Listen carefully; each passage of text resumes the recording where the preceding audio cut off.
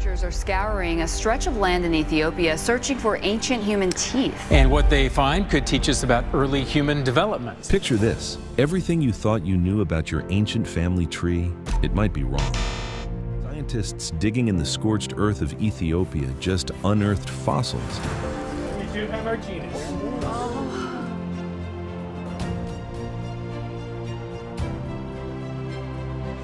that are forcing us to completely rethink how humans evolved. I do think this is uh, truly a momentous moment in understanding human evolution. Now really understand where and when the first human uh, lived and how it evolved. For decades, we imagined a neat linear progression from ape-like creatures to modern humans. One species dies out, another takes over, right? Turns out, our ancestors were living in a far messier, more complicated world than we ever imagined. I am so excited uh, that we found these particular fossils. The discovery that changed everything. In August 2025, a team of international scientists working at the Ledi Geraru Research Project site in Ethiopia's Afar region announced findings that sent shockwaves through the scientific community. They discovered 13 fossil teeth dating between 2.6 and 2.8 million years ago, revealing that two distinct types of human ancestors, early Homo and a previously unknown species of Australopithecus, were living in exactly the same place at exactly the same time. Now, you might be thinking, so what? They found some old teeth. But here's why this matters. Scientists had long believed that the genus Homo appeared after Australopithecus disappeared from the fossil record, rather than the two being contemporaries. The discovery proves that assumption was completely wrong. The research team, led by Brian Villmoare from the University of Nevada, Las Vegas, and working with Arizona State University's Institute of Human Origins, determined that while some of the teeth belonged to the genus Homo, a distinctive set of upper and lower teeth represented a brand new species of Australopithecus, one that had never been found anywhere on Earth. This new species is clearly different from Australopithecus afarensis, the famous Lucy, whose skeleton was discovered in nearby Hadar. The Ledi Geraru site wasn't chosen randomly. This same location made headlines back in 2013 when researchers discovered the jaw of the earliest known Homo specimen ever found, dating to 2.8 million years ago. The new teeth discoveries confirm and expand on that earlier breakthrough, showing that our lineage is far more ancient and far more tangled than we realized. Why this location matters. The Afar Depression in northeastern Ethiopia is essentially a time capsule. This region sits in what geologists call a structural basin. Imagine a massive bowl on Earth's surface that naturally collects layers of sediment like pages in a history book. These basins preserve fossils better than the surrounding landscape, which makes them invaluable for understanding human evolution. Ramon Arrowsmith, a geologist at Arizona State University who has worked with the Ledi Geraru Research Project since 2002, explained that the area has an interpretable geologic record with excellent age control for the time range of 2.3 to 2.95 million years ago. This precision is crucial. Without accurate dating, you're just looking at bones. With it, you're reading a story. But here's what makes this particular discovery so extraordinary. The time period from 3 million to 2 million years ago has been incredibly difficult to study because erosion in rivers and lakes was at a low level, meaning only small amounts of sediment were deposited, and those deposits contain the fossils of our ancestors. Finding well-preserved fossils from this era is like finding a needle in a geological haystack. The Afar region itself is also significant for another reason. The nearby Turkana Basin, stretching across southern Ethiopia and northern Kenya, had previously provided evidence that Homo and another human relative called Paranthropus coexisted about 1.5 million years ago. The new Ledi Geraru findings push this pattern of coexistence much further back in time and reveal that the picture was even more complex than anyone suspected. The fossils tell a different story. 13 teeth might not sound like much. After all, we find thousands of fossils all the time, right?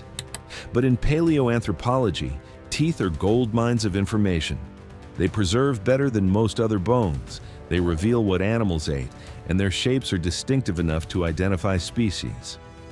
The research team concluded that the Ledi-Geraru australopithecus teeth represent a new species rather than belonging to Australopithecus afarensis, confirming that there is still no evidence of Lucy's kind younger than 2.95 million years ago. This is critical because it means Lucy's species went extinct, and this new Australopithecus species was living alongside the earliest members of our own genus. What makes these particular teeth so special?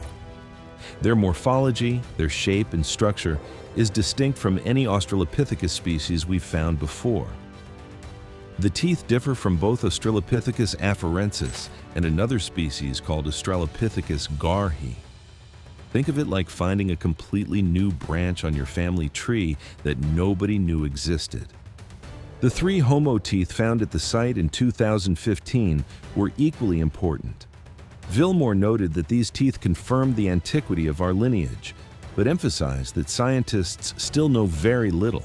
They understand what the teeth and mandible of the earliest Homo look like, but that's essentially it. The rest of the skeleton remains a mystery, which makes finding additional fossils critically important. What's remarkable is the spatial and temporal overlap. These weren't species that lived thousands of years apart or on opposite sides of the continent. They were contemporaries, sharing the same landscape between 2.6 and 2.8 million years ago. That raises some fascinating questions. Were they competing for resources? Did they interact? Did they know the other existed? Rewriting the timeline. For generations, students have been taught a simplified version of human evolution. Ape-like creatures gradually evolved into various Australopithecus species, which then evolved into the genus Homo, which eventually led to us a straight line from point A to point B. The Ledi-Geraru discovery obliterates that narrative. This new research shows that the image many of us have in our minds of an ape to a Neanderthal to a modern human is not correct. Evolution doesn't work like that, explained Kaye Reed, a paleoecologist at Arizona State University who has co-directed the Ledi-Geraru research project since 2002. Here we have two hominin species that are together, and human evolution is not linear. It's a bushy tree. There are life forms that go extinct. A bushy tree. That's the new model scientists are embracing. Instead of a straight march from ape-like ancestors to modern humans, researchers now see a tangled branching tree with multiple species coexisting, suggesting that nature tested multiple versions of being human before our lineage endured.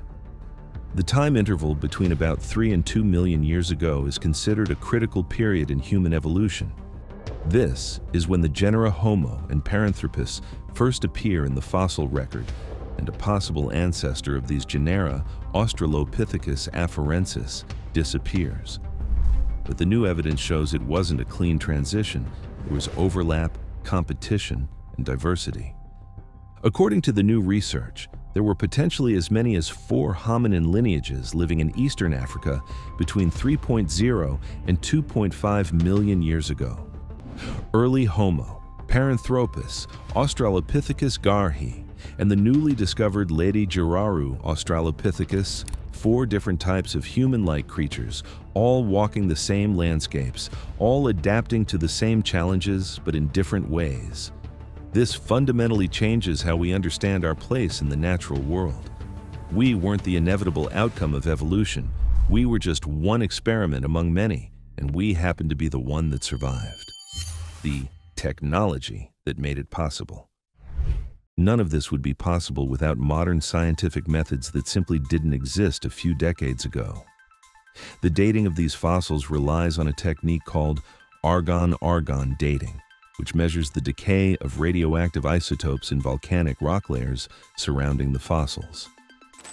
This gives researchers incredibly precise ages for the sediments, and by extension, the fossils buried within them. But dating is just the beginning. Researchers also analyze tooth morphology using advanced measurement techniques and comparative databases containing thousands of hominin specimens. They examine the geological context, looking at sediment types, grain sizes, and chemical compositions to understand the ancient environment where these creatures lived.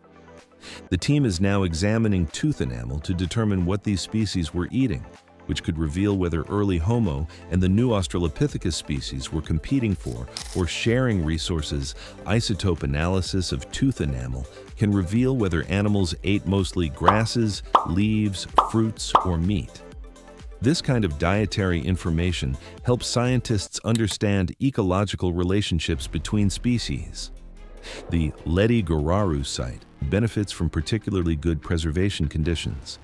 The area was once a floodplain with rivers and lakes, and volcanic activity in the region regularly deposited ash layers that act like timestamps in the geological record. These ash layers can be dated precisely, sandwiching the fossil-bearing sediments and giving researchers confidence in their age estimates. What's perhaps most impressive is how collaboration between different scientific disciplines makes these discoveries possible. Geologists establish the timeline and environmental context. Paleontologists identify and describe the fossils. Comparative anatomists determine how they relate to other species.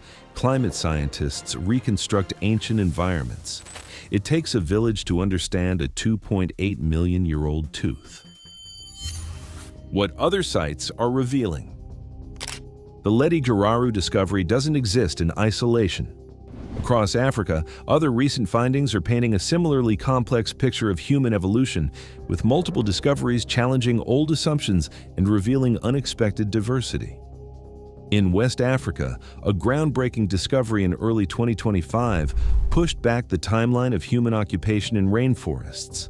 By over 130,000 years, researchers re-examined an archaeological site called Bete Fer in Côte d'Ivoire, near West Africa's southern coast, where stone tools had been uncovered in the 1980s but were subsequently lost during the Second Ivorian Civil War in 2011.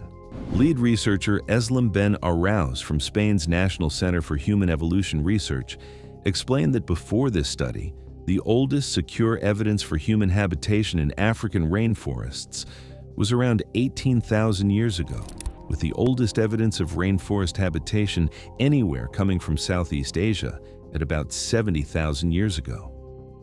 This new finding pushed back the oldest known evidence of humans in rainforests, by more than double the previously known estimate to 150,000 years ago. Similarly, excavations in Equatorial Guinea revealed evidence of humans systematically occupying Central African rainforests over 40,000 years ago.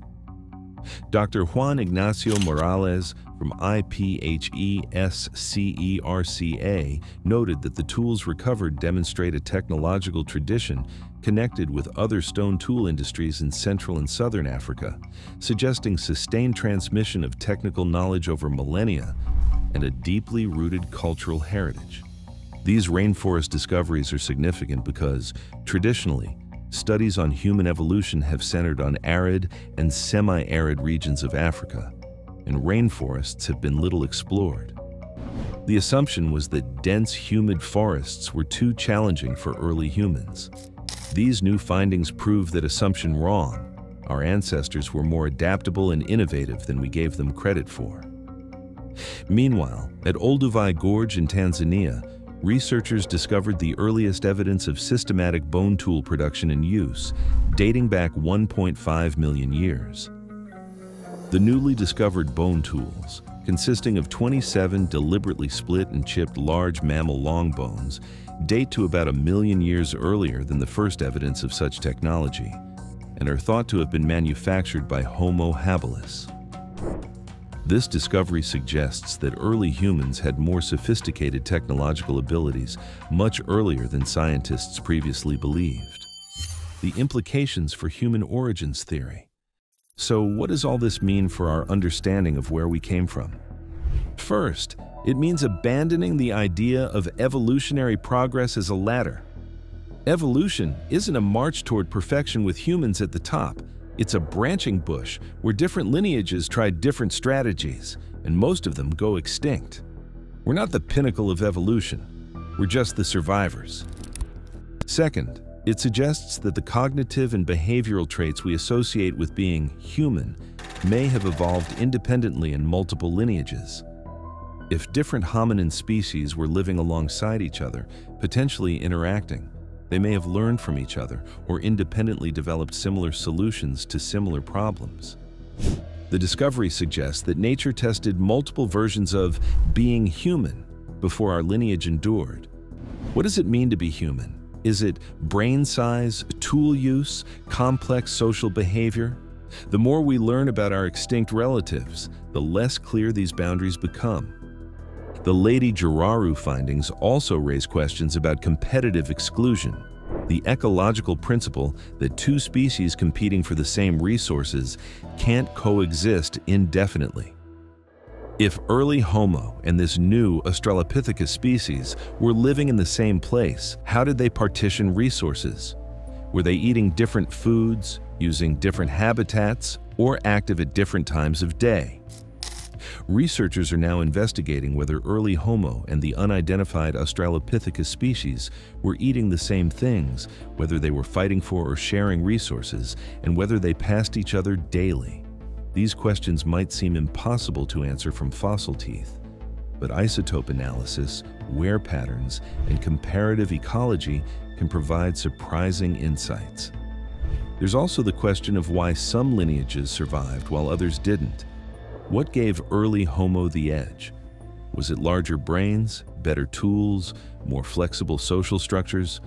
Or was it just luck, being in the right place when environmental conditions changed? The discovery reminds us how much we still don't know. Scientists haven't even named the new Australopithecus species yet, because they need more fossils to fully understand its characteristics and relationships. Each discovery answers some questions while raising a dozen more.